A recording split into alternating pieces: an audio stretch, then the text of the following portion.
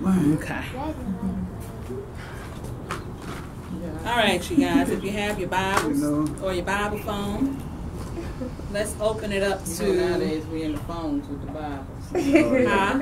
So I was just telling him how we in the phones with the Bibles now. Mhm. I'm here, Obama. Let's take a look at Matthew 23 and 12.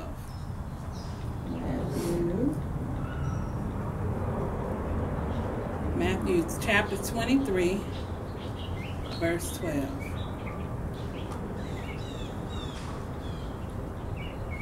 And when you have say amen. Amen. All right. Amen. Amen. And the word of God says, And whosoever shall exalt himself shall be humbled, and whosoever shall humble himself shall be exalted. Amen. Amen. Let's also look at Proverbs 3 and 34. Proverbs 3 and 34. You may want to bookmark the one I just read. Uh-huh. And I'm, I'm reading from the American Standard Version of the Bible.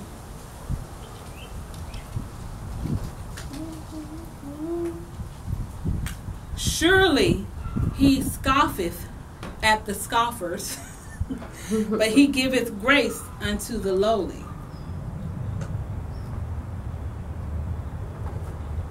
And the NIV, he mocks proud mockers, but shows favor to the humble and oppressed. Today, we are going to talk about humbling ourselves. So I want you to look at somebody and you say, God wants you to humble yourself. God wants you to humble yourself. Let's say it one more time. God, God wants you to humble yourself. Amen. Yes, amen. Amen. So I want you guys to ask yourselves a few questions. Do you love God? Yes, I do. Yes. Yes. ma'am. Do you need God? Yes, I do. yes. And do you f- find success with God important? Yes. Absolutely. If you can answer Amen. those three questions, then you may be able to answer the question Are you humble enough to receive God? That's my question. We as humans, human nature, we tend to come a little prideful. We come proud. We come boasting. And we come pumping our chest up sometimes. Human nature. Whether it's right or wrong, it's not what we're judging. We're looking at human nature. What naturally humans want to be proud of themselves. You want to be proud of your son. You want to be proud of your daughter. You want to be proud of your sisters, your brothers. Naturally. It's something about us that it springs up and it says, man, I did that. Or I saw that through. But we know that there can be danger in being proud. For we just read in Matthew that he who exalts himself makes himself out to be more than what he is. God will humble you. Mm-hmm. That ain't the, that ain't the best feeling in the world. Mm-hmm. But if you humble yourself before God and recognize your position, I am mere human. You are God. You are God alone. You can take care of everything. I need you. I love you, and I cannot succeed without you. God will exalt you. God will work those things out that you need Him to work out. God will see you through. So there is some humility that we have to look into ourselves and we have to put into practice because naturally, as humans, we're not always humble. Naturally. When we go to school at, at, a, at a young age, we're taught to be proud of ourselves. We're taught make A's and B's and be proud of that. We're taught get along with other people and be proud of that. And so then when your child comes home and they're saying, Mommy, Mommy, I made a good report card, what do we do? I'm proud of you. Rarely do we say God is proud of you. Now that's nothing wrong with that. So don't get me wrong. We do want to embrace and empower, but we also have to recognize where our strength is and where our focus is, where our help is. Because we know that if your child comes home from school with good grades, we know that they couldn't have done it themselves. It was God watching and looking over them, and God has blessed them with the ability to be smart. So let me read something. This is called The Prologue to Every Success Story. Preacher Cotton Mather invited a young Benjamin Franklin over for dinner one night and showed him his library. As they walked through a narrow passage into the library, Mather yelled back at Franklin, Stoop! Stoop! Franklin didn't understand the exhortation until it was too late, bumping his head on a low beam. And y'all know Franklin was tall. Hmm. Mather turned the situation into a sermon. Let this be a caution to you not always to hold your head so high. Stoop, young man. Hmm. Stoop, young woman, as you go through this world, and you'll miss many hard thumps. Hmm. Many years later, Franklin told Mather's son that he never forgot that moment. This advice, thus beat into my head, has frequently been of use to me, he said. And I often think of it when I see pride mortified and misfortunes brought upon people by carrying their heads too high. Like each of the seven deadly sins, pride has nine lives. You have to fight the battle every single day. But there are decisive victories, and that was one for me. Pride goes before destruction. Likewise, humility comes before honor. In the spiritual order of things, it's inviolable. Pride is the first chapter in the book of success, a failure rather. Humility is the first chapter in the book of success. God won't put you in a position of leadership until you take a posture of servanthood. So, as you're pursuing your God sized, God given dream, remember the attitude you need to keep from beginning to end. Stoop. And meanwhile, here's a tip there are two ways to get humility you can humble yourself or let God humble you. Mm. Choose the former so you don't have to experience the latter. Now, that was something that I read as I was studying and preparing for this. So, we must stoop. We must bow our heads and we must recognize our position. There's nothing wrong with being humble. There's nothing wrong with a little humility. But before we talk about humility, humility, let's let's go a little bit further into pride. There are several verses of scripture in the Bible that talks about pride. We just read two of them. Can somebody open up Proverbs 16 and 8 and read that one? And somebody else open up Proverbs 18 and 12. So one person 16 and 8, the other person 18 and 12. You said 18, 12? Uh-huh. So one 16 and 8 and the other one 18 and 12. 16, 18 rather. 16, 18, 18, 12. Mhm. Okay. I'm 16, 18. Okay. Pride goeth before destruction, and an haughty spirit before a fall. Thank you. There read the King James and the regular version. Um, King James says, Before destruction, the heart of man is haughty, and before honor is humility. In the New International Version, it says, Before a downfall, the heart is haughty, but humility comes before honor. So we're looking at two verses of scripture already that's showing us that if we get too ahead of ourselves, we're bound for destruction. Let me read for you the definition of pride. A feeling or deep pleasure or satisfaction derived from one's own achievements. The achievements of those with whom one is closely associated or from qualities or possessions that are widely admired. It was through pride that the devil became the devil. Mm. Pride leads to every other vice. It is the complete anti God state of mind. So here are some pains that associated with pride. In the end, nobody gonna like you. Mm-hmm. Nobody gonna like you, and they gonna look at you and say you conceited, you arrogant, you pump yourself up. You don't think about nobody else but yourself. Even when you get to a point of success, and if you're prideful about it, you lose you lose sight of everybody else. What about your friends? What about your family? Self-centered thinking causes you to miss out on blessings and opportunities. Imagine that one blessing that you miss. No, I'm all right. I'm good. But somebody's trying to bless you. Or I'm too good. You got that I'm too good for that thinking. Pride also opposes the fact that you need God. Remember earlier I asked, do you need God? Pride opposes that because you have to show that you need God. And at last, it will keep you talking at times when you need to hush.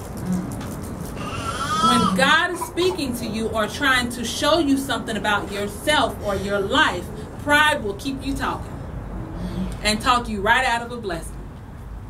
And then you're looking at God going, Why, God? Why? What about me?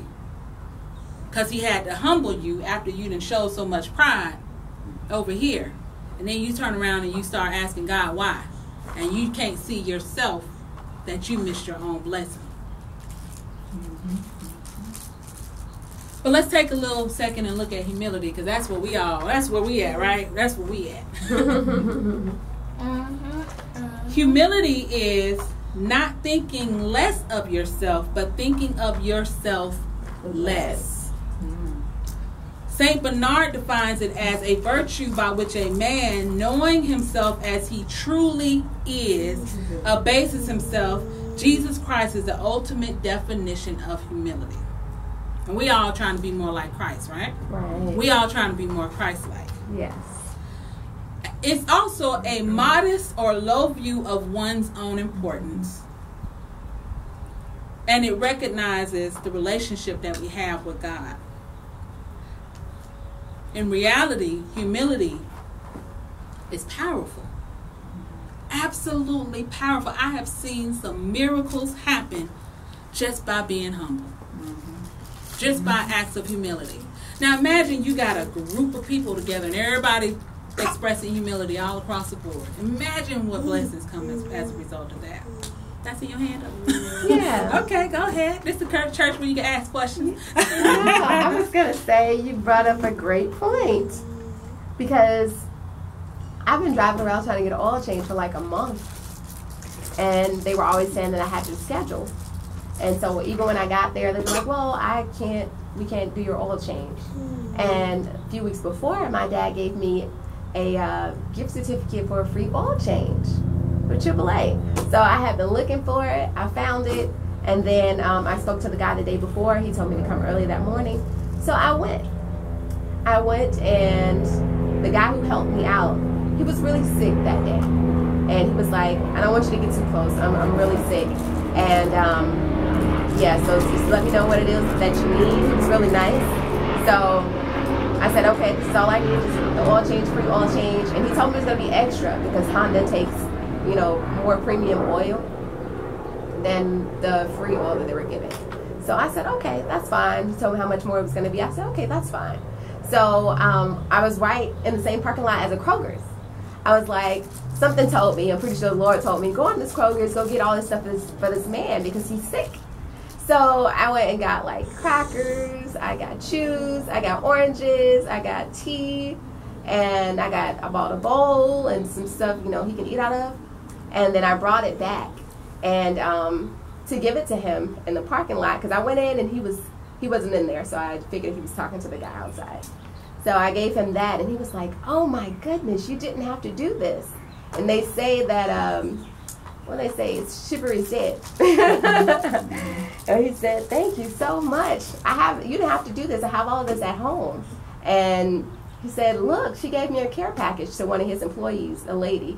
And I'm thinking to myself, because he was saying that he was about to go home, and I was like, "I'm pretty sure he told a lot of people that he was sick." And you guys are right on in the same parking lot as this Kroger's, and nobody tried to help him. Y'all were just gonna send him home. So I gave him that, and I went in. The other guy was about to ring me up. He said, "No, I got it. I got it." So he rung me up, and he was like, "You're free to go." I, I took my card out, everything. He said, "You're free to go." I said, "Really? Wow. Thank you." Just immediately. Immediately. God can turn, just like you said in that song, God can turn it around, right? Right. work your favor. Amen. So let's look at some benefits of being humble. You can actually hear from God if you're humble. I want us to just pause for a second and just feel the breeze and just listen to the air and just feel the nature because it's a beautiful thing to be outside. To me, this puts me in a place of being humble Beautiful day too. just enjoying the moment and enjoying the peace and the calm of God makes me humble. I can actually hear from Him. We can hear Him. Great rewards from heaven come as a result of being humble, and Yaya just shared that with us. Great rewards, blessings that we couldn't even imagine was going to happen. I get more excited about that than things that I expect to happen, right? yeah. That unexpected blessing is so much more exciting than that expected one. Mhm. It also will help you to remain quiet when you don't need or have to say a word.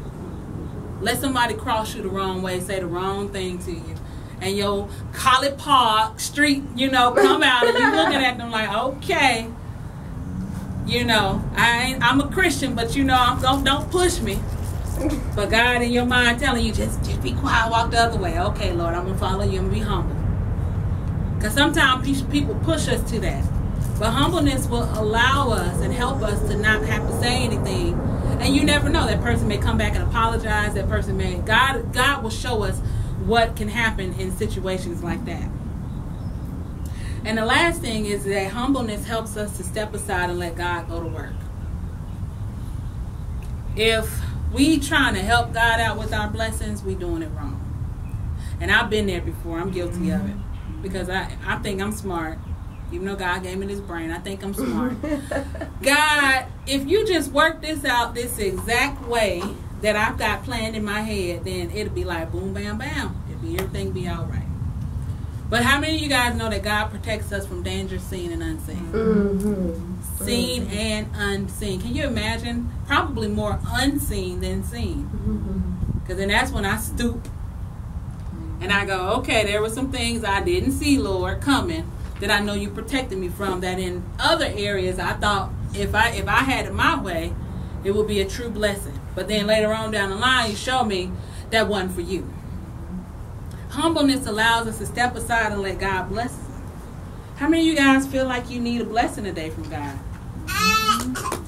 How many of you guys feel like you need a blessing from God? How many of you guys feel like you want that blessing from God? Me, yes. Yeah. So guess what? Stoop and step aside. That's my new dance right there, Mr. Robert. Stoop and step aside. and step aside. Stoop and step aside, right? Yes.